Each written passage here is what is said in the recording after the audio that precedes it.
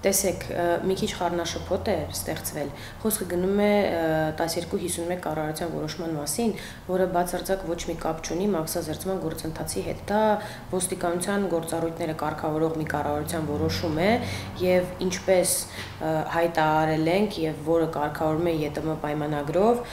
2020 թվականի հունվարի 1-ից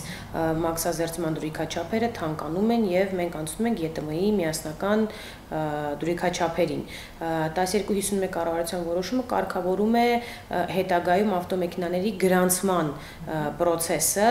որը, եթե չեմ սխալվում, սեպտեմբերի 26-ին կառավարության որ այդ 1251-ի մեջ փոփոխություններ կատարվել գրանցման հետ կապված, parzapes իմ տեղեկություններով կառավարությունը որոշեց մի փոքր ավտոներկրողներին ընթառաջել եւ այդ մի դրույթը, որ գրանցման համար մշտական թե ժամանակահատկացության քարտ է հարկավոր, ժամանակավոր հետաձգեց մինչեւ 2020 թվականի հունիսի 1, այսինքն դա ընդհանրապես մաքսազերծման գործընթացի հետ բացարձակ ոչ մի կապ չունի։